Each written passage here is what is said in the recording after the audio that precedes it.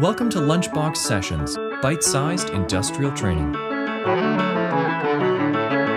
Hello, this is Carl from LunchboxSessions.com. Let's have a look at a unique problem that can plague a single rod cylinder, especially when there is a meter out flow control on the flow that is leaving from the rod end port.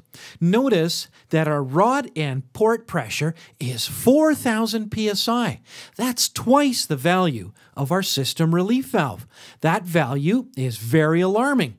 Could be the cause of cylinder damage or a blown rod and hydraulic hose.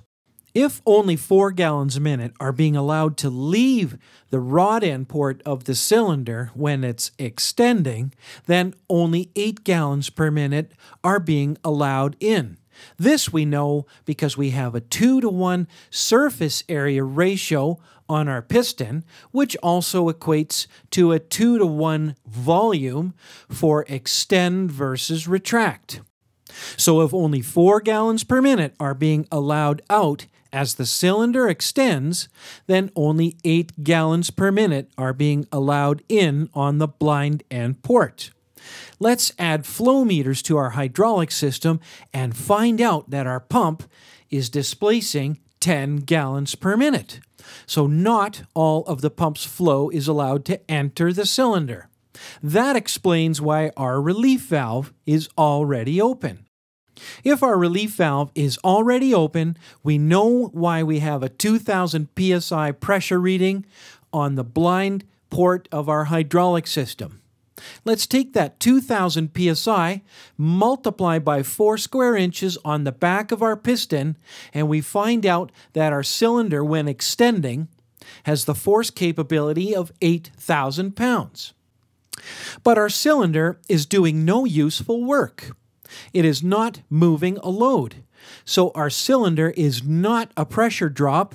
Instead, our hydraulic cylinder becomes a pressure intensifier.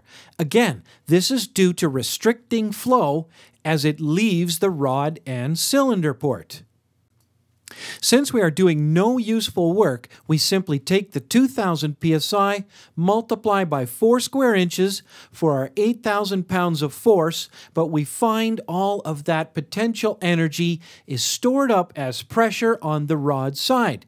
Take our 8000 pound shoving force, divide by 2 square inches, and we understand perfectly why we have a 4000 psi pressure reading. What changes if our cylinder has some serious work to do? Let's add a load. 6,000 pounds divided by 4 square inches on the back of our piston means we should see a 1500 psi pressure. But we don't. We see 2000 psi because our relief valve is already open, and we know that due to the flow control on the rod end port, not all of our pump's 10 gallons per minute are allowed to enter the cylinder. So 2,000 psi times 4 square inches is still an 8,000 pound shoving force. That's 2,000 pounds more force than is required to move our load.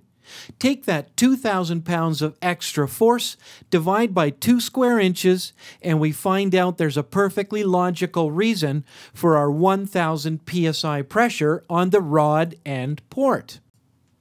The 1000 psi setting may not be alarming. That's a lower pressure setting than our system relief valve and is likely a very acceptable pressure level.